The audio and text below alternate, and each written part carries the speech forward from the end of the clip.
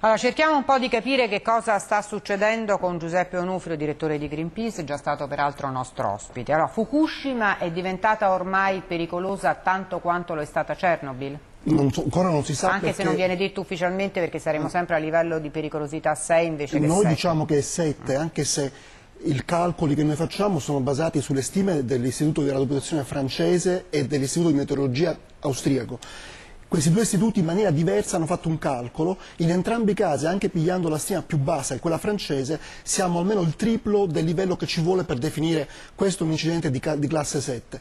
Chernobyl ha emesso di più ma ancora qui non è finita, quindi i conti si potranno fare solo alla fine. Solo alla fine. Ecco, però intanto che cosa si può fare per cercare di fronteggiare questa situazione? difficol- Perché adesso abbiamo sentito che sono stati allontanati tutti i tecnici perché il livello di radiazione è troppo alto. Ecco, quello che è successo a Chernobyl è che migliaia di soldati sono stati impiegati, i cosiddetti liquidatori, sono stati impiegati per cominciare a buttare nel nocciolo fuso sabbia e cemento.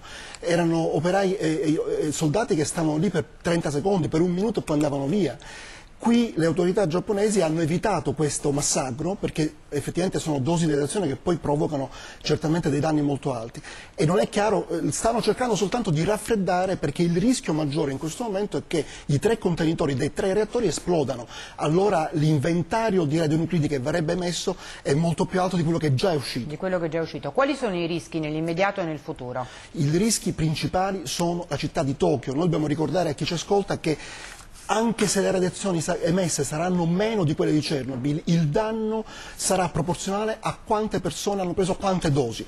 Noi abbiamo delle punte da, da 800 a 1200 abitanti per chilometro quadrato, mentre in Bielorussia erano 40 km per abitanti per chilometro quadrato. Quindi questo significa che anche se il rischio scende con la distanza, contrariamente a quello che ci fanno capire Veronesi e gli altri, il rischio scende con la distanza.